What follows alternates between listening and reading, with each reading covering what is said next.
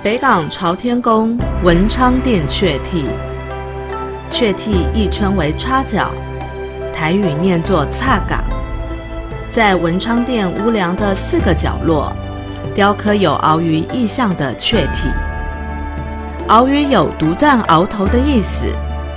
许多学子来到文昌殿，都是祈求考运顺利，希望能独占鳌头。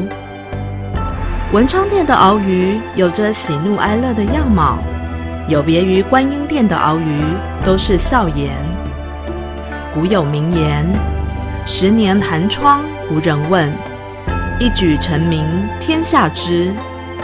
求取功名要十分努力，不管面对怎样的喜怒哀乐，只有一心向学，才能独占鳌头。所以鳌鱼在文昌殿四个角落十分适当，且有深远的含义。